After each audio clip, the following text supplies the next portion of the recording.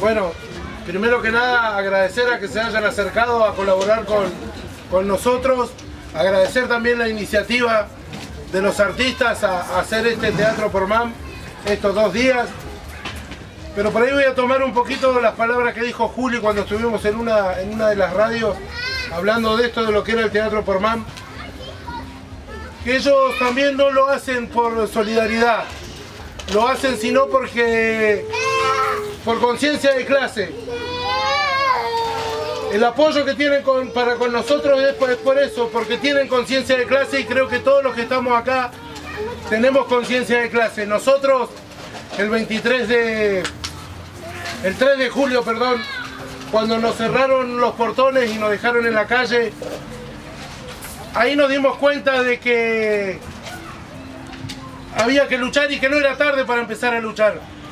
En todo este tiempo hemos conocido mucha gente Hemos tenido la oportunidad de hablar con, las madres de Plaza de Mayo y ellas nos dijeron una cosa que es muy cierta también, que nunca es tarde para empezar a pelear, nunca es tarde para empezar a luchar y nosotros el 3 de julio nos dimos cuenta.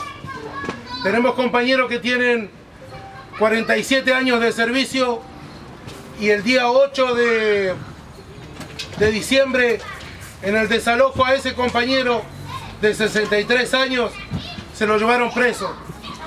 Lo tiraron al piso, lo esposaron, le pusieron el pie en la espalda. Cuando nosotros fuimos a buscar a ese compañero, pensamos que ese compañero no iba a querer estar más en la lucha.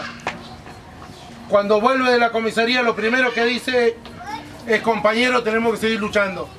Y eso es lo que estamos haciendo. Seguimos luchando. Nos sacaron de la fábrica, sí. Tuvieron que ir más de 100 policías armados para sacarlo de la fábrica. Estamos en una campa enfrente y seguimos luchando. Y vamos a luchar hasta el final, compañeros. Por eso agradecemos el apoyo, pero entendemos de que no es un apoyo solidario, es conciencia de clase, la misma que tomamos nosotros el 3 de julio.